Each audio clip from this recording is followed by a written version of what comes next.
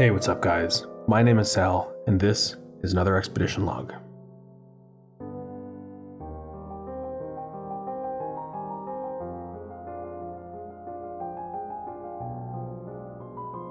Today marks the end of ExLog Phase 2. End the end of the 2018 Gulf Mall Tour. Today we'll be visiting a mall that I was able to catch in its last stage of vitality, when stores were still open and shoppers were spending money.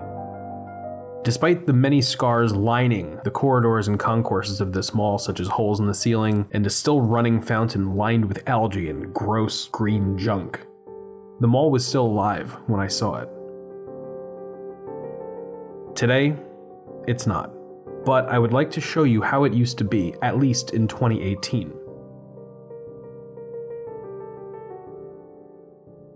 So let's bring phase 2 of the Expedition Log series to an end in Baton Rouge, Louisiana.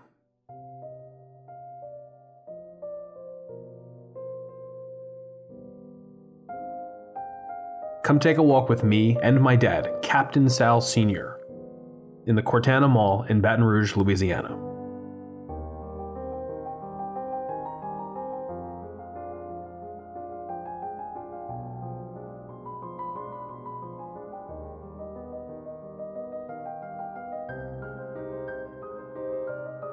But first, a word from our sponsor. Price LeBlanc, selling any truck you'll take. Literally anyone, he'll sell you whatever you're willing to buy. And my dad, Captain Sal Sr., sampling just what Price LeBlanc's trucks are capable of. It's pretty impressive. Enjoy. Elizabeth got her ducks in a row. Don't wait. Yes, sir. Just got back from a fine quail hunt in Georgia and bagged a lot of quail and had a lot of fun. Price of your number one horse refuses to jack your Toyota list price to the high heaven and then feed you a few crumbs while dropping you like a hot potato. Let's pull a pin on the competition and blast them away!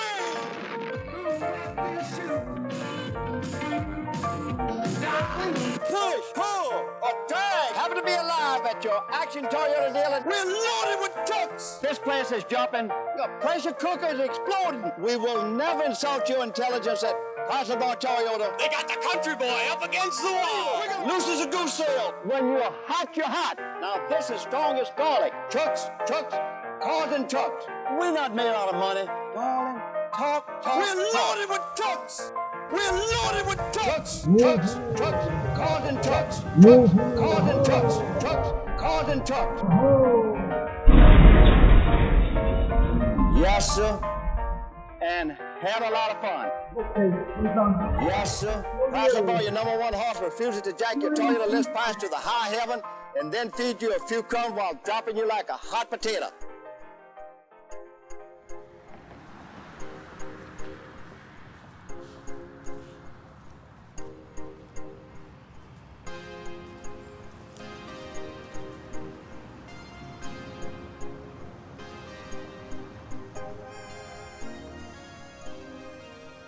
Back in the 1960s, the East Baton Rouge Parish in Louisiana had the Bon Marché Mall, which was opened as an open air mall in 1960 and still exists today, but repurposed as a technology business park.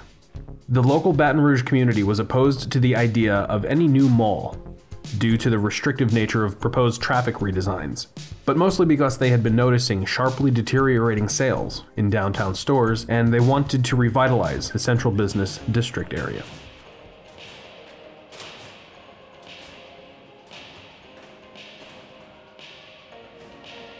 In 1963, Metropolitan Baton Rouge, $84.9 million worth of goods were sold.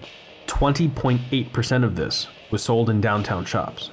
By 1972, 236 million in goods were sold, but only 6.1% of that were sold from the central business district downtown.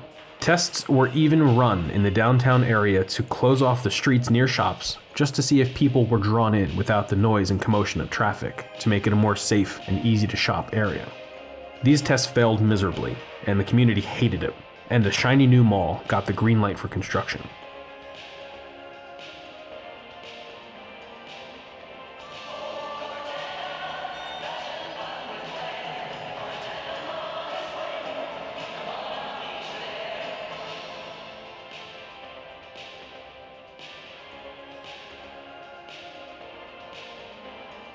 The mall would be built on a 103 acre tract of land that was previously the Cortana Plantation. Back in 1856, the old sugar harvesting Cortana plantation was acquired by James A. McGatton under foreclosure for $90,000 at a sheriff sale. The new mall was owned and managed by New York based Mall Properties Inc., who hired the Milton J. Womack Company for construction. Ground was broken and construction began in 1974. The folks over at the Bon Marché Mall, they got nervous when construction began and they converted their mall to being closed in the same year to try and compete with the shiny new mall. On February 11, 1976, a 120,000 square foot Goudchaux's department store opened. And then on August 4th, 1976, the dedication ceremony and grand opening was held for the Cortana Mall to which the Goudchaux's was attached. The original anchors for the mall were the Goudchaux's, Wilson's Catalog Showroom by H.J. Wilson Company, Sears, J.C. JCPenney, and Dillard's.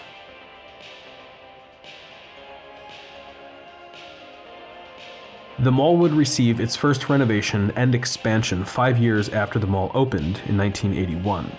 The Goudchaux's received a second level, and one year later, the chain merged with the Maison Blanche department store chain of New Orleans, thereby co branding the store as Goudchaux's Maison Blanche by 1982. 1985 saw the Wilson's catalog showroom transform into service merchandise, and two years later, the Cortana Mall got a second expansion. Mervyn's was added as the sixth senior anchor, and a seven store concourse was added to the mall, with its formal dedication on July 12, 1987, bringing the Cortana Mall to 1.6 million square feet of commerce.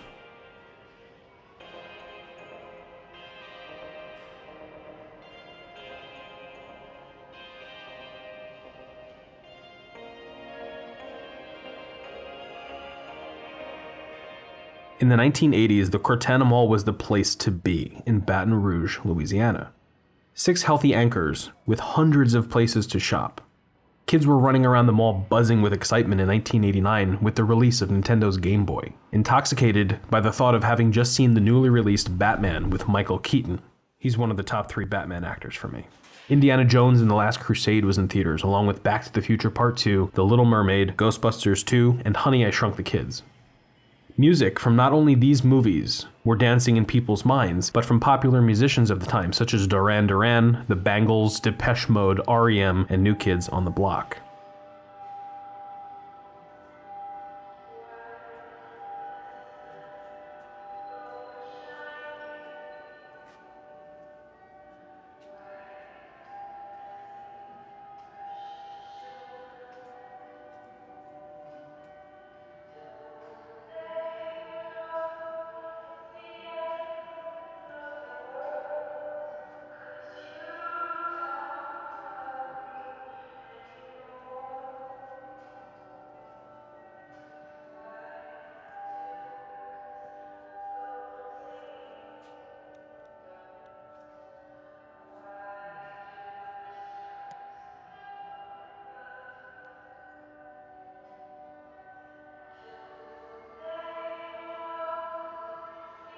The move into the 90s brought some amazing changes and some challenges for America. The Hubble telescope launched and began its mission in 1990, and Tim Berners-Lee published his formal proposal for the World Wide Web, with the first web page being written shortly thereafter. Home Alone, Edward Scissorhands, and The Godfather Part 3 came out in 1990 as well. By 1991, the internet was made available for unrestricted commercial use with over 1 million users in the first year, and Queen frontman and singer Freddie Mercury issued a public statement confirming his affliction with AIDS, and he died one day after the announcement. By 1997, we were at the end of Bill Clinton's first presidential term, Princess Diana and Mother Teresa had both died. Mike Tyson bit Evander Holyfield's ear off in a match. The Woolworths chain shuttered after 100 years. Dolly the sheep was the first cloned mammal. Steve Jobs returned to run Apple. And J.K. Rowling published the first Harry Potter book. In theaters, we had the premieres of Titanic, Men in Black, Batman and Robin, arguably the worst Batman movie, and Liar Liar with Jim Carrey. 1997 was a year of change across the world, and it was felt in Baton Rouge too. The Cortana Mall was formally rebranded to the Mall at Cortana in an effort to offset the decline in business after two new malls opened within direct proximity to Cortana. The Mall of Louisiana opened less than six miles away, and Towne Center at Cedar Lodge opened less than three miles away.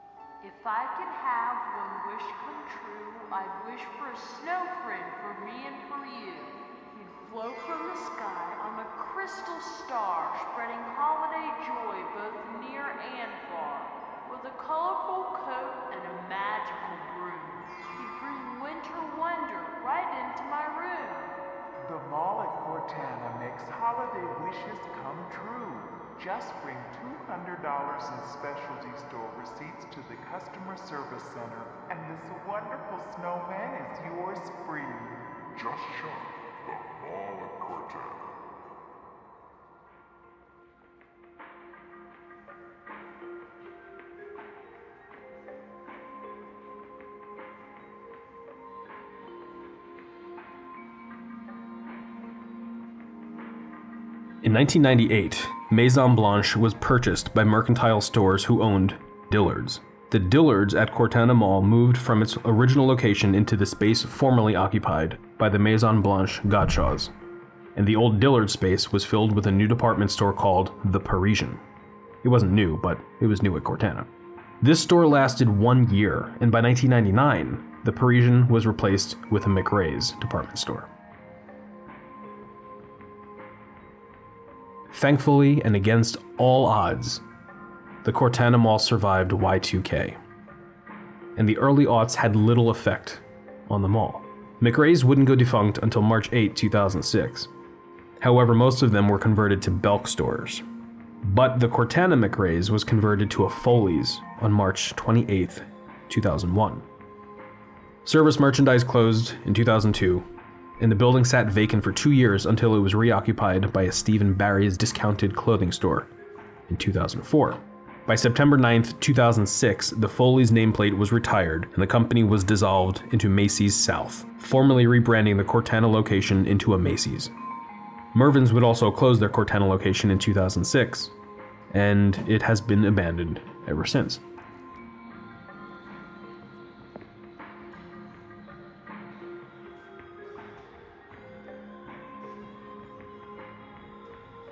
In an effort to shift the local perception of the mall at Cortana, the owners decided to revert the name back to Cortana Mall in March 2009.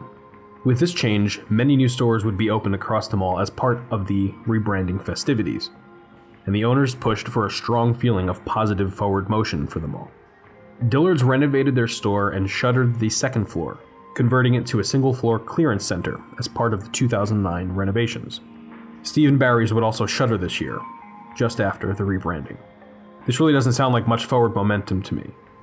However, a campus for the Virginia College, which is a college based out of Birmingham, Alabama, opened in the vacancy left by Steve & Barry's, which was originally the Wilson's catalog showroom.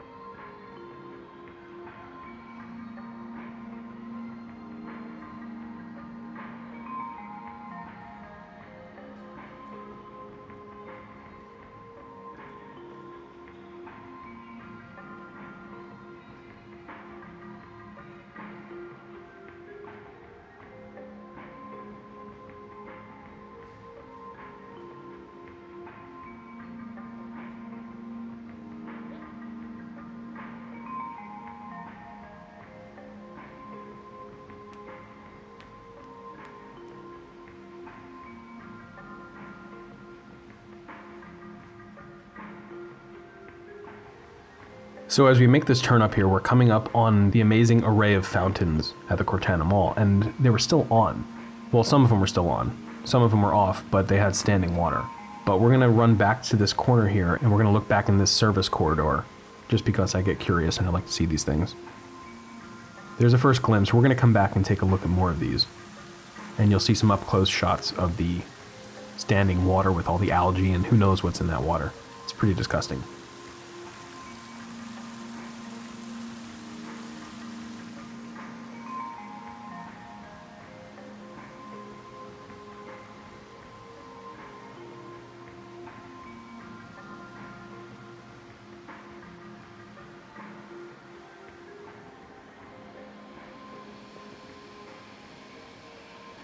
As I was walking around back in this corridor, I saw a couple of things that were a little suspect.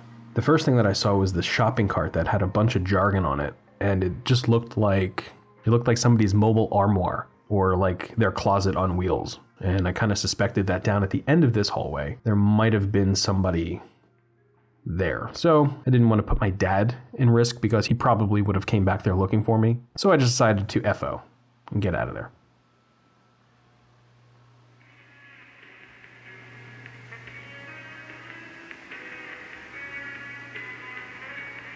There he is, by the way.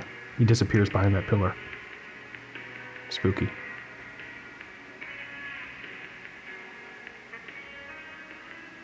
So here we are. These are the amazing fountains at the Cortana Mall.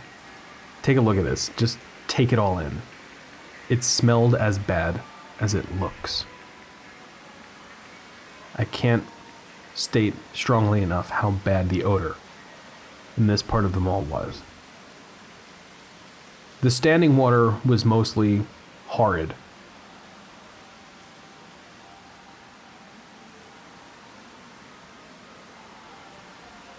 But even the running water was just disgusting. And I was pretty surprised that they actually still had it on. Look at this. How is that not a health code violation to have the standing water? And there were mosquitoes flying around. So if you see my motion jerking, it's because I was avoiding mosquitoes and swatting them away. That's how bad this was.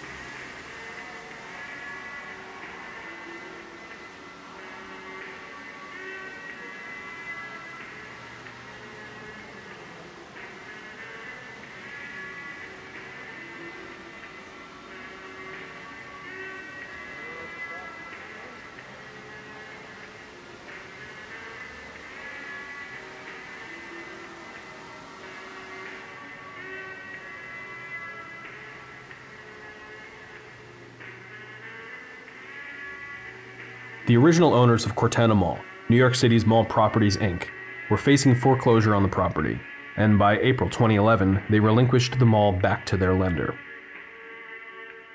The Woodmont Company was brought in for receivership to manage and lease the property. And in March 2013, Las Vegas based Moonbeam Capital Investments LLC purchased the mall, and they retained Woodmont to manage. Moonbeam paid $6.15 million for the mall and the Mervyns, which was one of seven underperforming malls that they purchased in 2013. One of the other malls that they purchased during this acquisition period was the Burlington Center Mall in New Jersey, with the famous elephant statue named the Waterhole, and the elephant's name is Petal. Moonbeam paid 4 million bucks for the Burlington Center Mall. I actually have a video out for Burlington, which I published last February in 2018. But I was recently allowed full access inside the mall after it was abandoned, and I'll be releasing that incredible, incredible footage in the Burlington sequel in the beginning of ExLog Phase 3. Cortana Mall is the end of ExLog Phase 2, and ExLog Phase 3 kicks off right after this and the next director's update, which you don't want to miss. Lots of really great teasers, reflections, and updates will be included in that director's update, along with some footage that you'll only get to see within that update. So make sure you sub, ring the bell, and keep an eye out for that.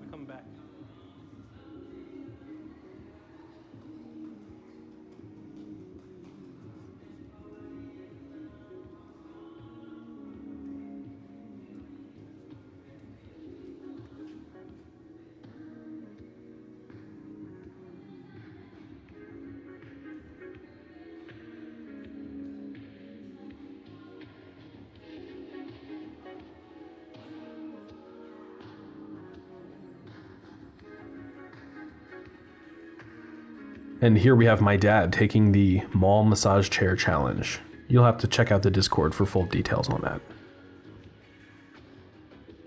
That always survives. Oh, they got the old one too. That's the old style. Yep.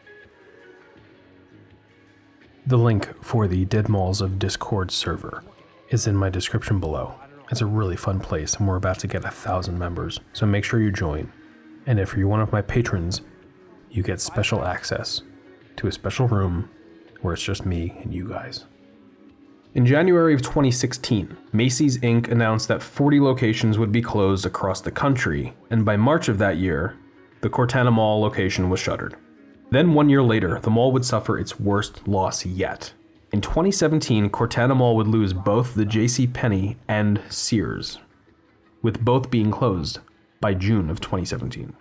Moonbeam prides themselves on reviving failing shopping centers, being able to pull them out of the mire and make the most pitiful mall thrive. But they just couldn't pull this one off.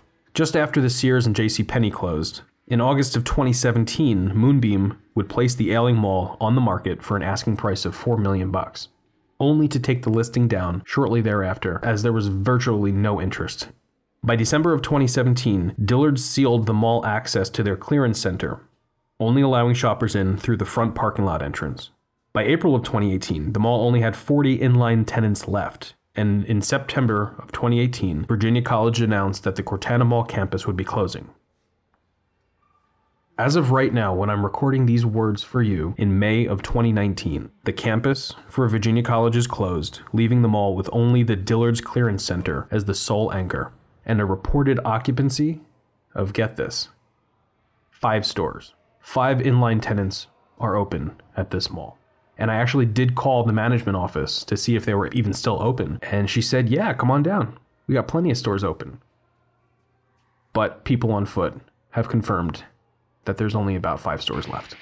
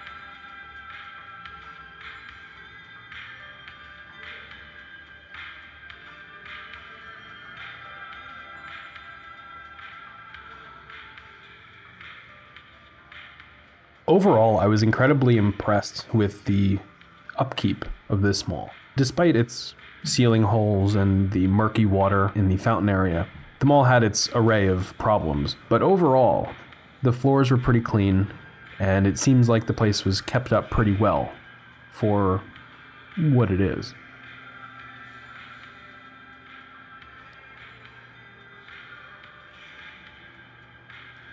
Now, as we walk towards this entrance, we're going to actually leave.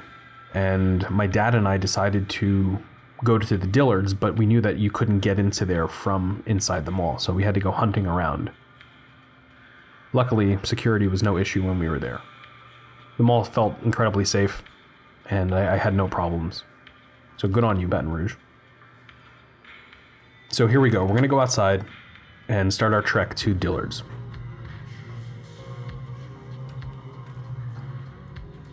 Right, we got to go into Dillard's. We got to walk around. Where's the car? I don't know. Let's go.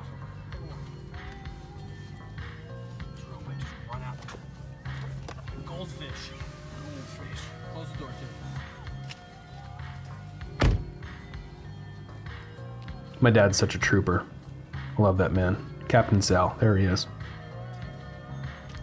We spotted what I think is the abandoned Mervyn's, but it might be the JC Penney. My gut says Mervyn's, and the label scar that you'll see after we come out screams Mervyn's. But let me know in the comments if you know what this was. just in an effort to see what the inside of this place looked like. We walked in the place and just started inquiring about how to go about making donations and just asking for more information. There wasn't much to see. Yeah, do you have any um, documentation on donations?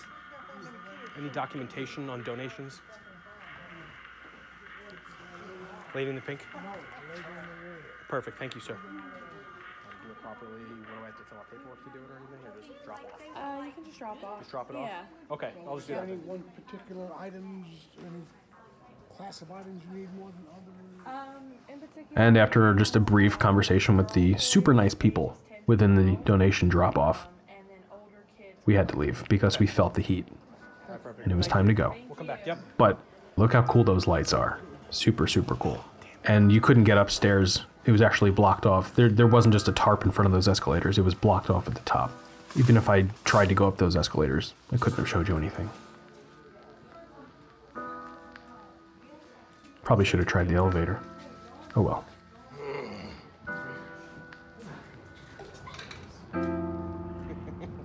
What was that, though? I wonder what that was.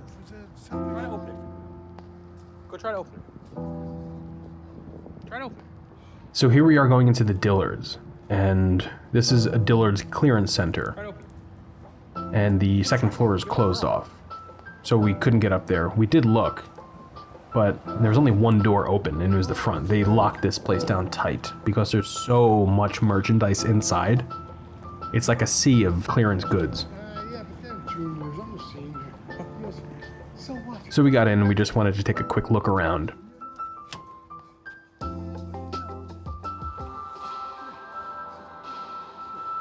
And immediately our first thought was let's go up those escalators and see what it looks like upstairs. Because you could actually look out through the window and see the mall from inside. But alas, we couldn't. Everything was blocked off and people were staring at us the entire time. So we're just going to get a brief look inside the Dillard's Clearance Center, and then we'll get back into the mall for one last look.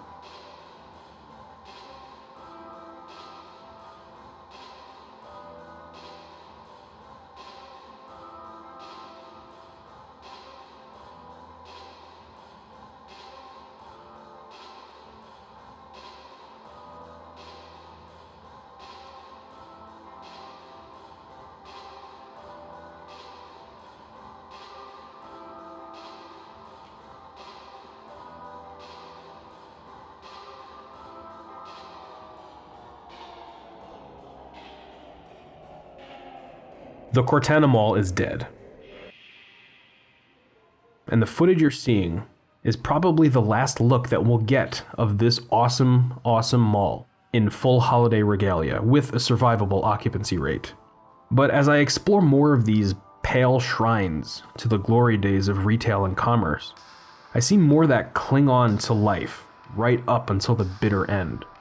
They remain open, with sometimes just one store leasing space, and management will even decorate for the holidays. It's beautiful, but bittersweet, because nobody's there to enjoy this.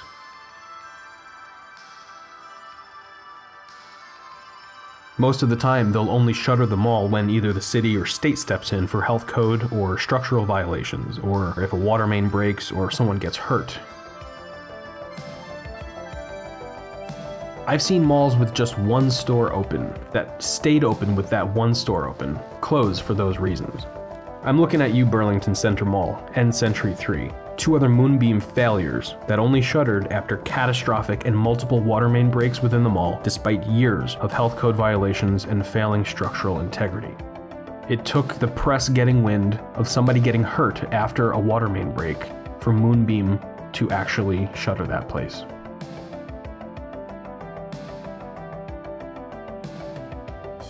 To Steve Maksin, founder and CEO of Moonbeam, and Shawl Pryor, Chief Operating Officer of Moonbeam. The two of you should be ashamed of yourselves. The way you run your company is disgusting. This parking lot's pretty much on par with what I expect a parking lot to look like at a mall owned by Moonbeam. And if you guys know what this building was, and I think it might have been a bank, let me know down in the comments. But there was a stench that smelled like something died there, and it was only at that building, so something may have been decomposing inside there.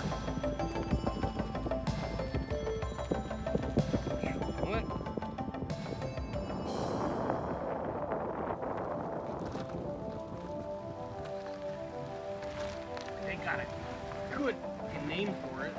I have a ton more content coming on the way, and as this marks the end of Phase 2, Phase 3 will kick off with a bang, and possibly breaking 20,000 subscribers, so thank you guys so much for all of the engagement, and I appreciate every bit of it.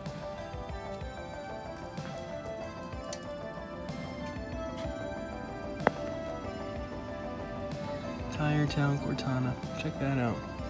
Cubicles and everything.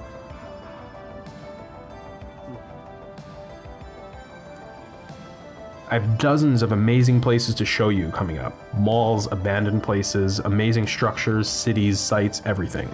So please stay tuned and watch out for my updates on YouTube, Twitter, Instagram, Facebook, and Discord. And the links are below in the description for all of those. I'd like to thank my patrons who directly support my channel and fill my tank with gas and my body with caffeine on all of these expeditions. If all of you were to donate a dollar per month, I could do this full time.